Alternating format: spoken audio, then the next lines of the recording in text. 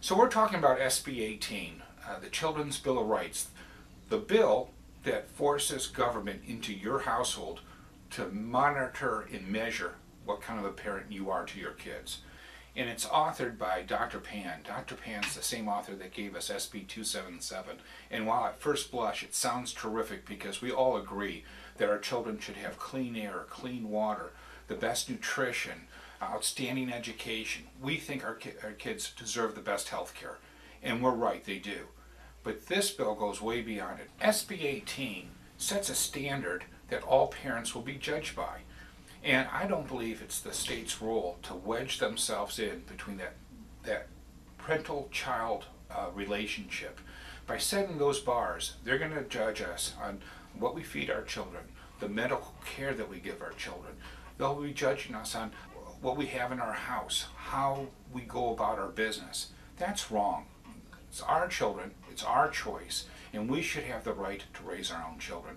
And yet the state is trying to stick its nose uh, into our business and mandate what we should and should not do and measure us by the standard that they create. These are our children.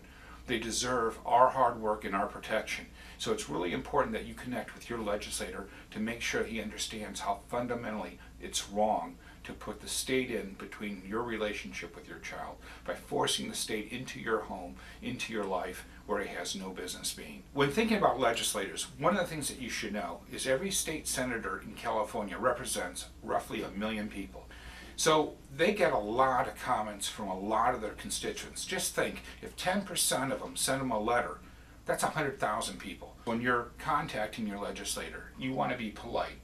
You want to be concise. You want to personalize the note that you send them. You can send a form letter and it's good, but it's never as good as that uh, a note that you put your feelings on because that emotional difference makes a difference to the reader.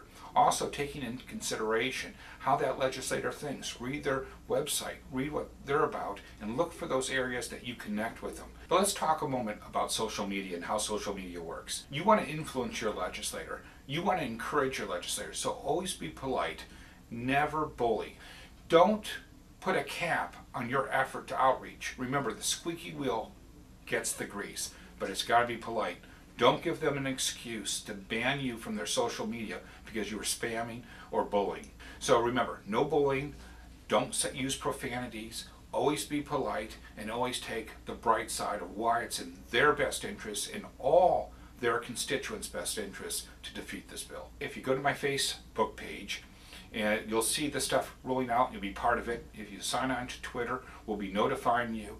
I encourage you to do both. Plus, I have a petition uh, opposing SB 18. I'd ask that you sign it if you haven't already. And uh, I look forward to working with you because together we can change California for the better.